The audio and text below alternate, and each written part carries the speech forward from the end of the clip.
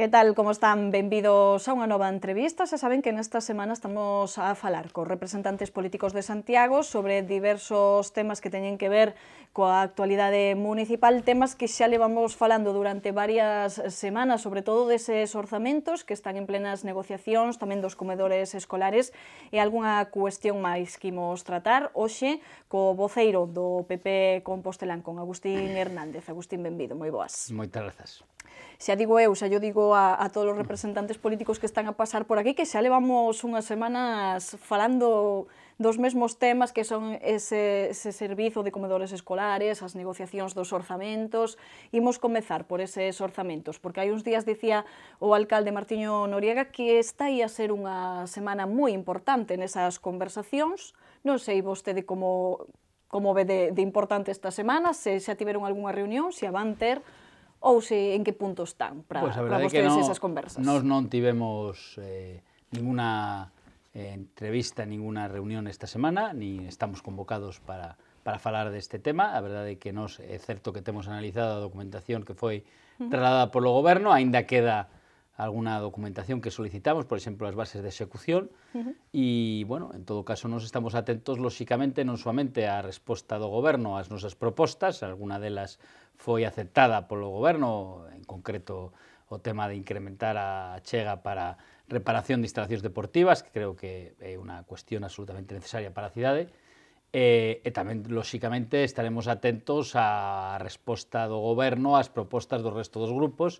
para coñecer cal é a, a, o resultado final dese orzamento e poder ter unha opinión ao respecto dese, dese pleno. A verdade é que nos creemos que a cidade debería contar con cuns orzamentos xa nestes momentos, estamos xa no mes de febreiro, e, polo tanto, é un tema urxente, necesario, e que require a dedicación do goberno para desbloquear e para poder pois concretar as actuacións que se poidan executar ao longo de, deste ano. Non? Nos eh, creemos que é importante incrementar eh, os orzamentos para mantemento da cidade, posto que é evidente que é unha actuación demandada e necesaria para para a mesma e a partir diso temos trasladado a nosa opinión ao goberno e estamos atentos ao que poidan opinar ao respecto, non? O goberno ten agora mesmo en riba da mesa xa as propostas concretas do Partido Popular? Pois sí, nos trasladamos diferentes propostas o respecto, por exemplo, de, da necesidade de modificar o tratamento das subvencións nominativas, o respecto de incrementar as achegas para a estación intermodal, para a depuradora, para as instalacións deportivas. Eh, a verdade é que temos escoitado eh, con atención a opinión da, da concelleira ao respecto pois de, de que eles consideran que é normal que non exista, digamos, sintonía co Partido Popular. Nos tamén é certo que temos trasladado ao goberno que estes non son os nosos orzamentos, son os orzamentos de Compostela Aberta, que nos discrepamos no fondo eh, tanto das prioridades como das diferentes cantidades dedicadas a cada unha das partidas, e a partir diso, lóxicamente, temos aberta a nosa, as nosas portas para pois eh, analizar a receptividade do goberno ás diferentes propostas e eh, para nós o tema é eh, claro, o goberno ten que eh, pois eh, respostar aos nosos posicionamentos, decir se si acepta, por exemplo, incluir unha partida para depuradoras, se si acepta incrementar as eh, as achegas para a estación intermodal, se si acepta modificar o tratamento das subvencións nominativas e a partir diso, lóxicamente, o Partido Popular pois eh, decidirá a posición no respecto dos orzamentos, sempre en clave de cidade, eh, sempre baixo a perspectiva de que a peor situación que pode ter a cidade non contar cuns orzamentos en tempo e forma, posto que eso impide que se poidan iniciar investimentos e que se poidan atender as necesidades que reclama a veciñanza. Preguntaballe iso para saber un pouco como en que punto están esas conversas co Partido Popular, por, posto que co BNG esta semana mesmo Rubén Cela o voceiro presentou esas propostas ao goberno e por parte do PSOE están un pouco máis reticentes porque están á espera precisamente desas bases de execución de algunha documentación que pediron e aínda non lles presentaron as súas ideas. Por lo tanto, co PP podemos decir que as conversas están bastante avanzadas, aínda que chega,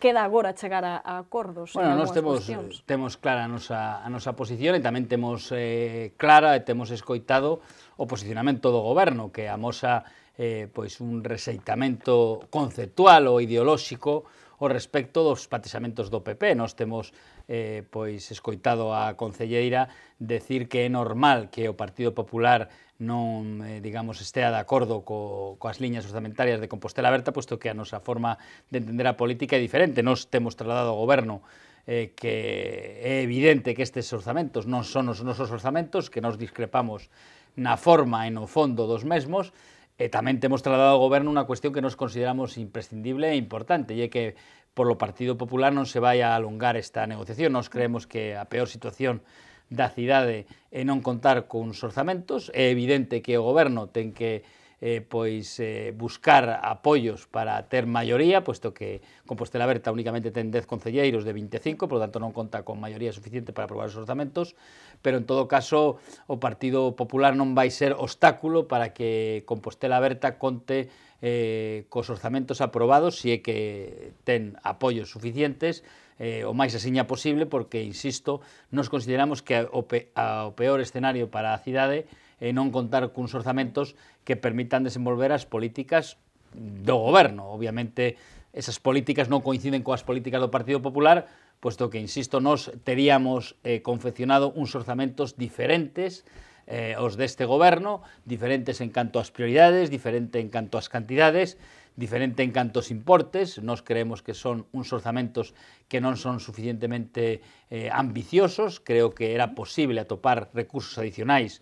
para incrementar o, o, en, en valor absoluto o orzamento e, por tanto, por, para que a cidade contara con máis recursos. A verdade é que despois do, do pleno de, das ordenanzas fiscais, Compostela Berta decidiu non eh, loitar por contar con recursos adicionais, e creo que eso perxudica claramente a cidade e a execución dos proxectos necesarios para a mesma.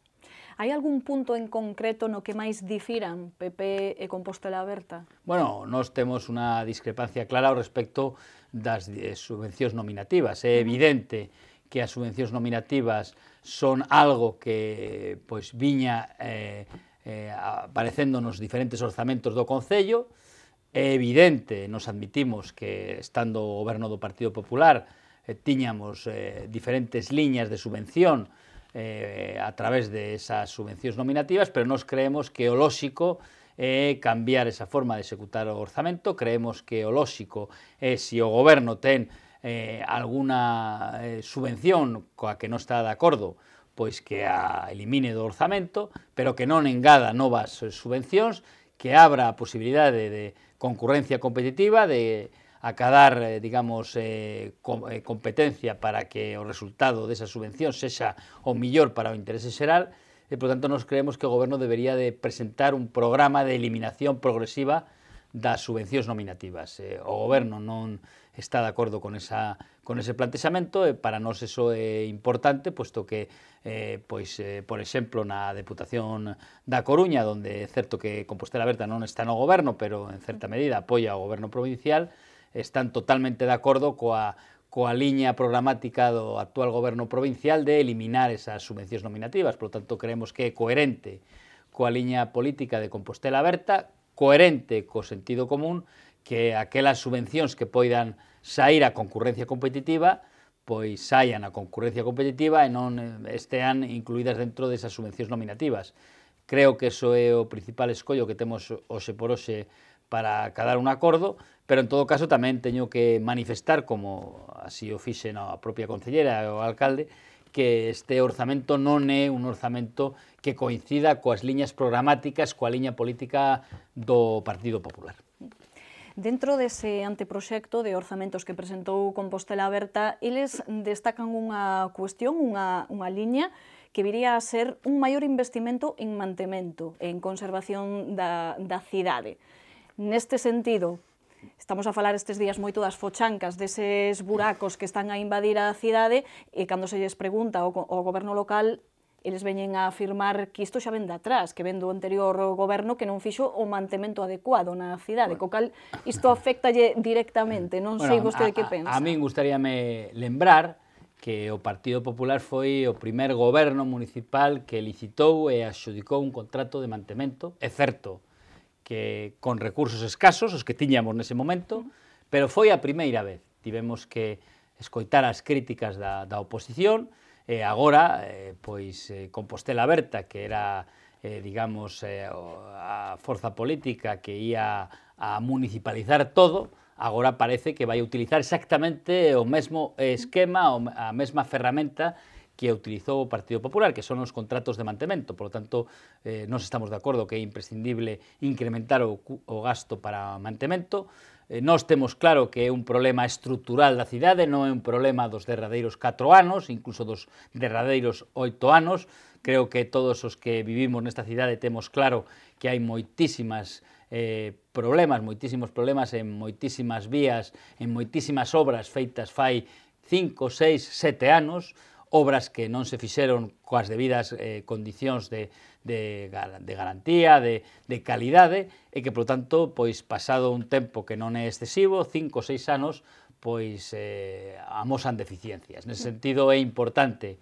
non soamente facer eses arranxos de emerxencia, nos creemos que eses arranxos deben limitarse o máximo posible, posto que non son solucións para o futuro, o que debe facer o goberno é facer un diagnóstico certeiro da situación dos diferentes viais, das diferentes eh, ámbitos da cidade, das diferentes rúas, e a partir diso facer un programa serio eh, a longo prazo de arranxo definitivo deses, desas deficiencias para que a cidade estea nas debidas condicións. É evidente que nestes momentos a cidade presenta pois un aspecto lamentable nas vías públicas, nos pavimentos, tanto no referente ás vías de circulación de vehículos como ás propias beirarrúas, o que non é normal é que se atúe agora nestes momentos coas inclemencias meteorolóxicas, co mal tempo, con moita choiva, o que hai que facer é facer unha análise profundo da situación, insisto, non é unha situación froito dos derradeiros 4 ou 8 anos, é unha situación estrutural da cidade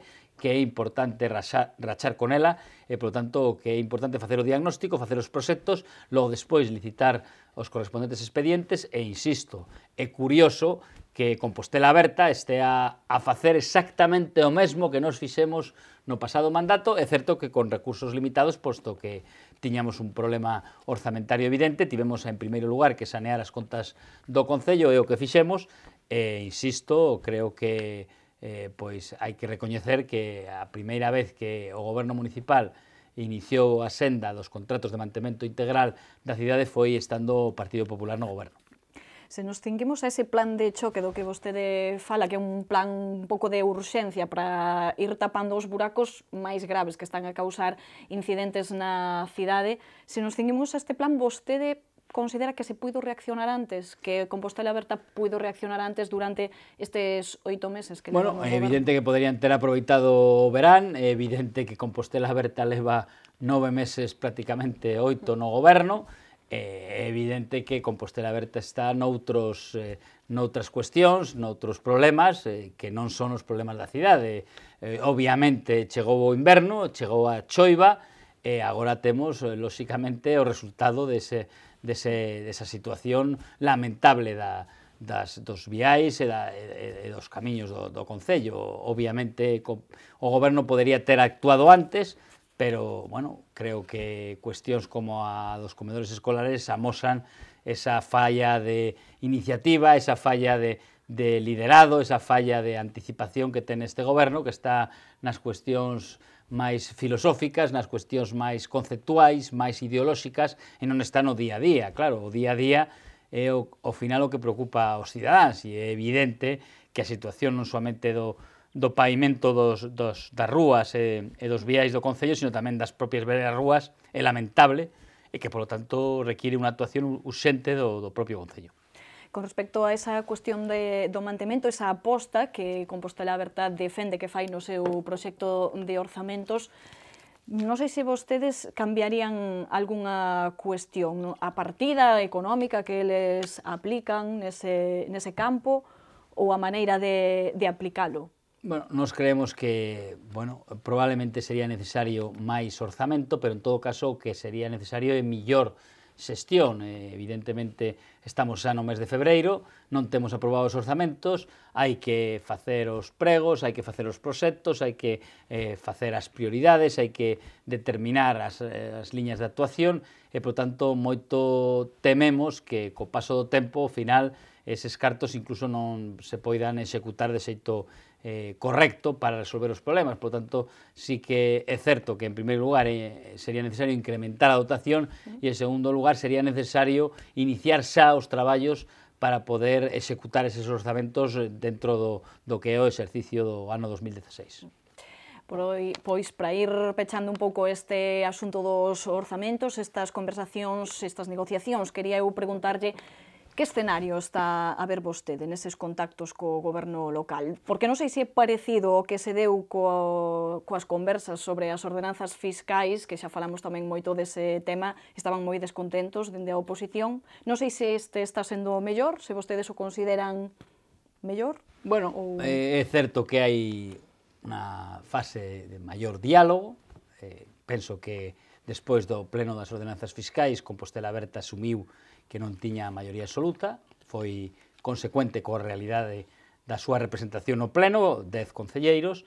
Agora é certo que, na nosa opinión, o goberno está alongando excesivamente este, este período. Nos creemos que non é necesario alongar máis este, esta fase de negociación. Nos temos manifestado o que consideramos ao respecto das cuestións que coñecemos do orzamento. Temos solicitada documentación adicional, as bases de execución aínda non están no noso poder, pero en todo caso pensamos que non vai haber moita diferenza ao respecto das bases de execución do ano 2015, e, por tanto, nos temos eh, previsto, e así o temos trasladado co, o, o alcalde e o grupo do goberno, eh, que imos eh, manifestar o posicionamento do Partido Popular o máis asiña posible para que non se utilice esta fase de negociación como un pretexto para xustificar a tardanza na aprobación dos orzamentos. O Partido Popular dende o primeiro día dixo que non ia a prolongar innecesariamente esta fase de negociación,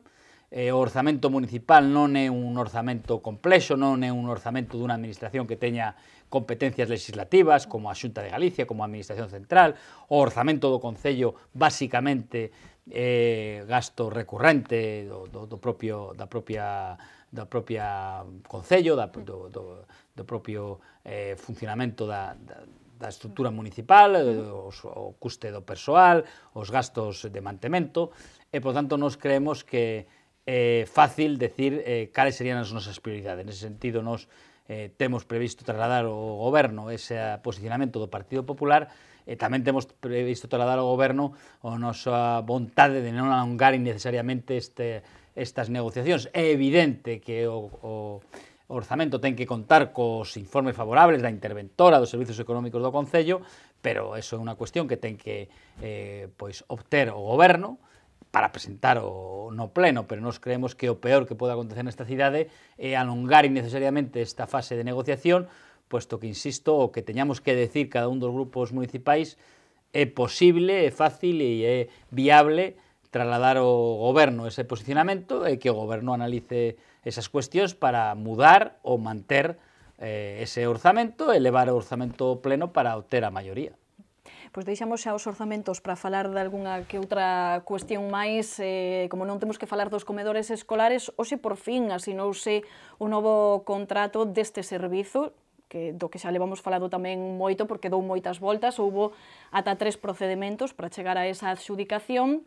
e chama a atención que finalmente a adxudicataria sexa Ser Unión, a empresa que xa estaba agora mesmo a servir as comidas dos máis pequenos, unha empresa que non era do agrado dos pais eh, das nais, e ademais é unha empresa que renunciou no primeiro bueno, dos concursos. Eh, eso, Con... creo, eso creo que é o, o máis sustancial do que acaba vostede de trasladar. É dicir, unha empresa que libremente ofertou a prestación dun servizo a un determinado prezo sustancialmente máis baixo do que resultou agora gañador, eh, renuncia sin que nos saibamos ni teñamos ninguna explicación ao respecto das, das razóns desa renuncia e, sinón, e sin ter información de si esa renuncia trouxo algún tipo de responsabilidade por parte desa empresa, pois esa mesma empresa que dixo que non era capaz de prestar o servizo, renuncia á prestación do mesmo, o goberno acepta esa renuncia sin reclamar ningún tipo de responsabilidade a esa empresa, logo despois invita a esa empresa a que presente ofertas para ese mesmo servizo e a un prezo sustancialmente maior. Por lo tanto, creo que eso acredita que neste procedimento houbo moitas eh, eh, incongruencias por parte do goberno, houbo falta de dilixencia, houbo moita improvisación, moitos pontos escuros e, polo tanto, por iso nos temos solicitado ao Concelleiro de Educación que dea explicacións no pleno do Concello e agardamos as explicacións con moitísimo interese, puesto que creemos que este é un exemplo da incompetencia da eh, pois incapacidade do goberno de, de Santiago de Compostela de eh, resolver e de atender as necesidades eh, do propio Concello. No? E, polo tanto, agardamos esas explicacións porque, insisto, existen moitos puntos escuros neste, neste procedimento. Tamén é sorprendente, podemos dicir, porque a intención inicialmente do, do Concello ou do Goberno era abrir expediente a esas empresas que renunciaron para estudar ou investigar un pouco cales foron as súas razóns. Co cal estaríamos falando dunha empresa que podería estar a vez expedientada. Eh, eh, est estamos polo... agardando a información dese expediente que foi decidido pola Xunta de Goberno uh -huh. o respecto de exixir a ser unión explicacións das razóns da súa renuncia, tendo en conta que libremente presentou oferta para ese concurso, non? Polo tanto, eh, non temos noticia dese expediente, non sabemos se ese expediente abriuse ou non, uh -huh. e non sabemos o resultado mesmo, e polo tanto insisto é que neste tema existen moitísimas eh, moitísimos puntos escuros que nos demandamos ao goberno que clarifique e que, e que informe o respecto de cales foron as razóns e se existe algún tipo de responsabilidade, porque sería lamentable que ao final o resultado sexa que o Concello de Santiago, que todos os santiagueses teñamos que pagar 170.000 euros máis como consecuencia da acción eh, absolutamente irresponsable do, do goberno. Non? É preocupante ese sobrecuste, porque agora o que fixeron con estas novas condicións é aumentar o prezo e dende o goberno local comprometeronse a asumir ese aumento do, dos pues sí, prezos, no, no, co cal... Mm... Nos estamos atentos tamén aos informes da, da intervención do Concello, puesto que haberá que coñecer de onde eh, saen eses cartos para pagar ese sobrecuste e tamén a, a injustiza que supón que o goberno vai facer fronte a ese sobrecuste con independencia do nivel de renda dos pais e das nais, non? Non resulta, non deixa de ser curioso que un goberno eh, como é o do Compostela Aberta, que pois pretende ser un goberno igualitario e eh, eh, que tenta pois eh, eh, defender os intereses das persoas que o están a pasar peor, que eh, pois aplique esa forma de entender a, a, a xustiza, non? É dicir, a todo o mundo eh, o Concello eh, eh, fará fronte ao sobrecuste con independencia do nivel de renda dos pais e das nais. Penso que isto é como consecuencia de unha improvisación de, deste proceso, unha falla de liderado e de, e de xestión eficaz por parte do goberno e por iso precisamente, volvo a repetir, é polo que temos solicitada a comparecencia do concelleiro para que explique todas estas cuestións que non deixan de ser algo, curioso e un expediente absolutamente caótico que, insisto, demostra a falta de, de capacidade de xestión do goberno actual de Santiago de Compostela. Imos falar agora da cobertura de dúas prazas de libre designación, dous postos de dirección de área que acaban de, de nomear dende Compostela Aberta. Eran dúas prazas que se crearan durante o goberno de Conde Roa. Supónse que Compostela Aberta ia eliminalas, así o expresara esa intención. Finalmente, coñecemos que, que se van cubrir esas prazas, como re, bueno, recibeno con sorpresa, como decía bueno, vostede é, hai uns días. É certo que o alcalde, cando fixo a, a estrutura ao inicio do mandato, adiantou que deixaba en previsión de cobertura dúas prazas de director de área, eh, o que sorprende espectacularmente é que o alcalde manifeste, afirme que vai eh, cubrir esas prazas de xeito diferente a forma que o fixo o Partido Popular. Eh, exactamente, vai facer exactamente o mesmo. É curioso que diga que vai facer un proceso de, de cobertura pública, de concurso público, cando xa están eh, nas... Eh, eh na opinión pública eh, bueno, eh, están aparecendo nomes de persoas que teño alguna información al respecto de que serán finalmente as designadas para eses postos. É evidente que estamos a falar de postos de confianza, pero é curioso que o alcalde justifique eh, a cobertura dos mesmos dicindo que vai facelo de forma diferente o Partido Popular, exactamente da mesma forma. Vai a tentar atopar dúas persoas de, da súa confianza política para que, pois, eh, digamos, lideren e xestionen determinados ámbitos do Concello. Nos creemos, eh, é certo que nos tiñamos directores de área, uh -huh. eh, pero tamén é certo que, bueno, eh, nos tiñamos reflexionado respecto da figura do director de área no Concello de Santiago de Compostela. O Concello de Santiago de Compostela é un concello onde é de aplicación a lei de grandes cidades, pero é evidente que ten eh, o tamaño, eh, a estrutura administrativa que ten. Nos creemos que hoxe por hoxe eh, neste Concello é posible xestionar o día a día a través eh, da cobertura das diferentes prazas cos funcionarios do propio Concello. Nos creemos que o Goberno está amosando a súa desconfianza do tecido funcionarial, dos propios funcionarios do Concello, eh, está introducindo persoas de mm, confianza política porque non é capaz de traballar cos funcionarios do Concello, nos creemos que os funcionarios do Concello son competentes, están capacitados eh, de forma clara para eh, pois levar os diferentes ámbitos dos que se está a falar, o tema urbanístico, o tema da xestión do persoal e da xestión da contratación, e, por tanto, nos creemos que un erro é un, eh, un gasto innecesario a dotación destas, destas plazas e non deixa de ser a, a demostración da necesidade de facer un control político sobre a estrutura funcionarial do Concello e por iso nos eh, criticamos e cuestionamos esa, esa cobertura. Non? critican un pouco entón as formas, pois e as contradicións de especialmente as contradicións porque o que non se pode decir que eh, a cobertura desas prazas vai ser de forma diferente ao do Partido Popular cando vai ser exactamente a mesma. É dicir, o alcalde, supoño que eh, pois tentará atopar persoas capacitadas, cos coñecementos, coa, co currículo necesario para ocupar esas prazas e vai decidir libremente, posto que son prazas de, de persoal de confianza política, non? Uh -huh. Pero é curioso que diga que vai facer o contrario que o fixo o Partido Popular. É certo que o, o Partido Popular tiña directores de área,